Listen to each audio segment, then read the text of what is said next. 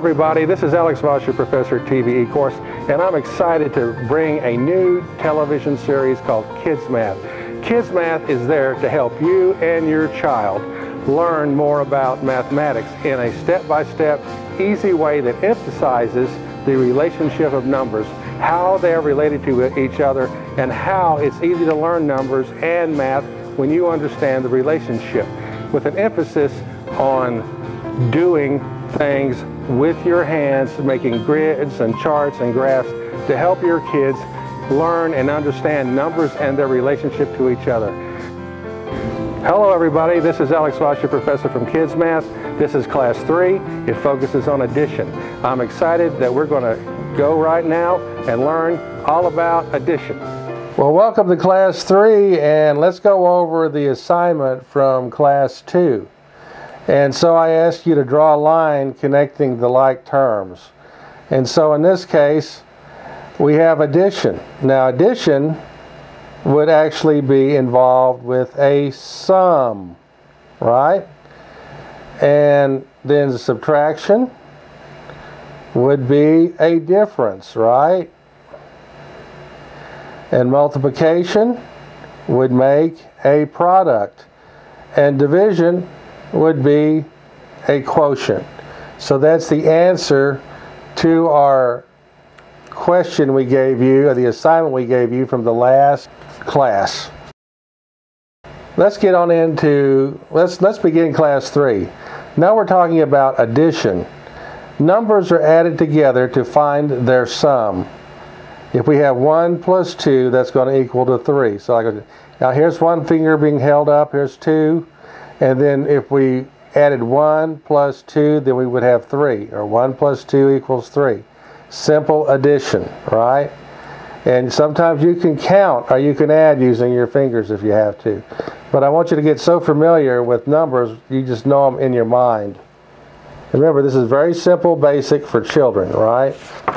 Okay.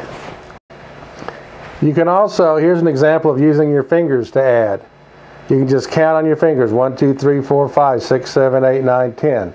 Lots of people do that. You should be able to do that in your mind. I want to show you how to make an addition grid.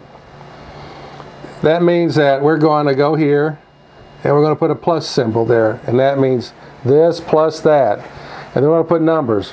1, 2, 3, 4, 5, 6, seven, eight, nine, and 10 across the top. Same thing down here. One, two, three, four, five, six, seven, eight, nine, and 10. Okay? So this is the beginning of our addition grid right here. And so we know 1 plus 1 equals 2. But let me show you a neat trick here. If I get a ruler and I extend between the numbers here and here. Okay. Like right there and right there. Like right here, right here, and right here. So this could be a 3 and a 3. And then we go down here. The next set's going to be a 4, a 4, and a 4. And the next set is going to be a 5, and a 5, and a 5, and a 5. The next set here is going to be a 6, a 6, a 6, a 6, and a 6. And do this along with me. This is fun for kids to do. The next one is a 7, a 7, a 7, a 7, a 7, and a 7. Then we see we're just going we're going the numbers on the top and the bottom and just that putting them together. 8, 8, 8, 8, 8, eight, eight. now we're going to do the next one. Nine, nine, nine, nine, 9, 9, 9, and 9. Okay, the next one is going to be 10, 10, 10, 10, 10, 10, 10, 10, and 10. Now I know this looks like it's a little weird, but what I'm trying to do here is set this up where you can understand the relationship of these numbers. These are the numbers you get in a grid when you do an addition. And so, of course, now we go up one more, so the next one's going to be 11, right? One more plus 10, 10 added to 1 is going to be 11, 11. I'll kick that ruler out of the way now. 11, 11, 11, 11, 11, 11, and 11. And then we're going to add that to this one. It's going to be 11 plus 1 is 12. So we're going to do the same thing again. 12, 12, 12, 12, 12.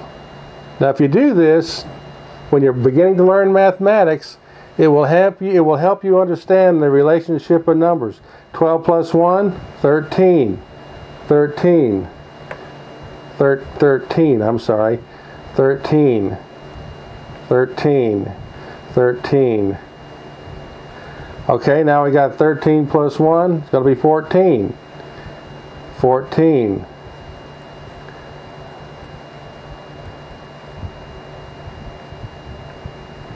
And then we're going to go up one more. 15. 14 plus 1 is 15. And then we're going to go up one more. And I know this may seem real simple, but when you're uh, a child and you're learning this, this will really help you with your understanding of the relationship of numbers. 15 plus 1, 16. And then 16 plus 1 is 17.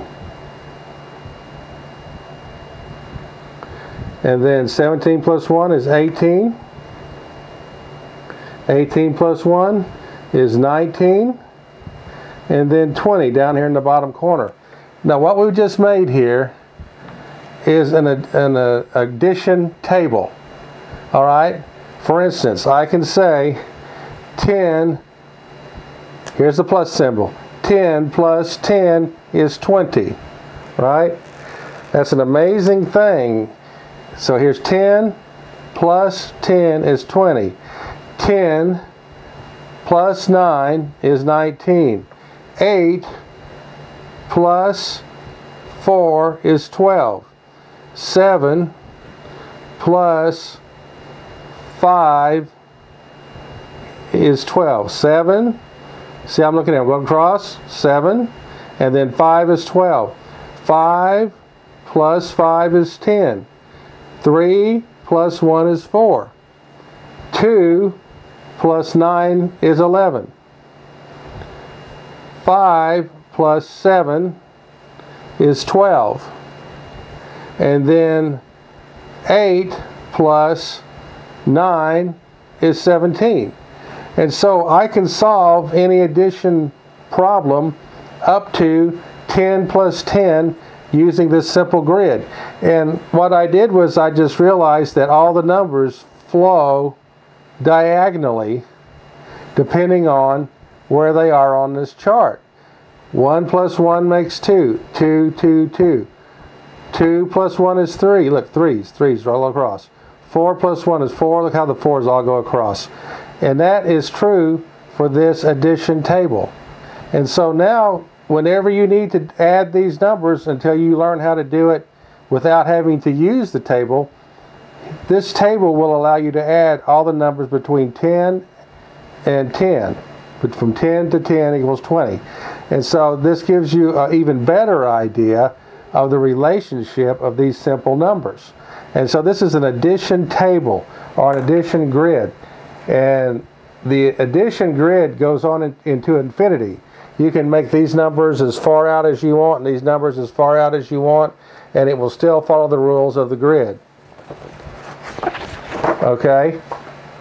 So here's, here's an example of an addition grid I did on the computer. It's the same grid. And so if I had to and I didn't have a calculator, then I could actually use this grid to find my answers to my numbers. Of course, you should be able to do all this in your mind. But when you're starting out and you're learning the basics as a child, you need to learn the relationship of these numbers. And that's why we're taking the time to go over the details of these relationships by drawing out a grid so you understand these relationships. And so now that we have our grid made, let's go ahead and let's look at these problems. I'm going to give you an assignment. And these the assignment is going to be using your grid to solve these uh, addition questions here. I want you to solve for 8 plus 9 and 3 plus 10 and 7 plus 7 and 6 plus 9 and 5 plus 5 and 8 plus 2 and 10 plus 10 using your addition grid. That will be a good thing for you to practice on your addition grid and also to help you understand the relationship of these simple numbers. And so this is an assignment. I'm going to give you the answers to this when we come back in our class that's following this one. Okay?